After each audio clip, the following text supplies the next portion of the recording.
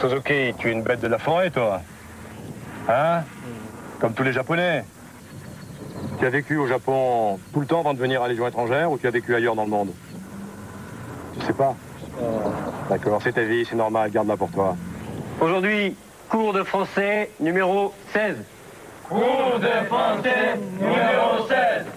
Aujourd'hui, nous allons voir le couvert statique, mais le couteau à droite de l'assiette. Je mets le couteau à droite de l'assiette.